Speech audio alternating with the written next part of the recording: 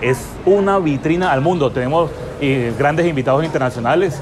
Eh, es una sorpresa para la ciudad quienes vienen, pero sí, vienen por lo menos de Nueva York, vienen de Ibiza, vienen de Australia vienen de Argentina.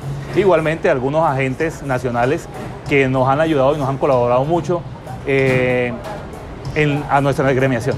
Nuestro alcalde Alfonso Erzaz, junto con nuestro eh, presidente icónico Camilo Espina, le han apostado la reactivación económica en nuestra ciudad.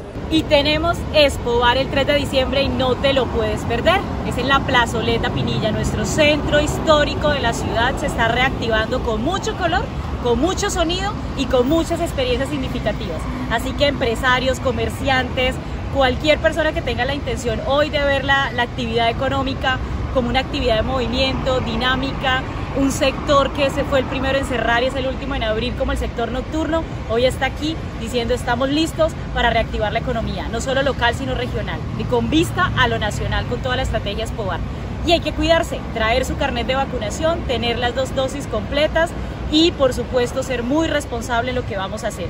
Hay una muestra de empresarios de la noche, tenemos el show de bartender, el show de meseros, eh, la guerra de DJs, tenemos car audio, moteros, etc. Es toda una experiencia a partir de las 6 de la tarde, Plazoleta Pinilla, distrito de Barranca Bermeja se reactiva con el sector nocturno 24 horas.